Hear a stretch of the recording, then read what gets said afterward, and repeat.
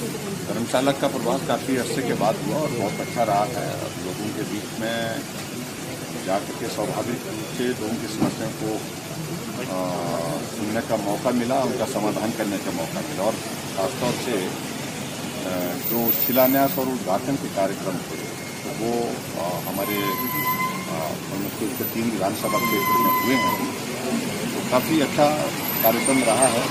काफ़ी अच्छा कैसे वही हम प्लान किए हैं, जो अधिकारियों और जो हमारे जो इलेक्टेड रिप्रेजेंटेटिव हैं मेंबर पार्लियामेंट हैं मिनिस्टर्स एंड एम एल हैं, उनके साथ डिटेल में डिस्कस किया है कि जो अनस्पेंड मनी जो पड़ा है, अभी डिपार्टमेंट में पड़ा है किन्हीं कारणों से उनको नहीं कर पाए हैं तो उसको खर्च करने की योजना बना करके आगे बढ़ाने की तो कांग्रेस ने एक आधी घटना इस प्रकार की हुई होगी लेकिन उसके बाद हमने बहुत ज़्यादा जो है वो सोशल डिस्टेंसिंग को के नॉर्म को वहाँ पर फॉलो किया है। और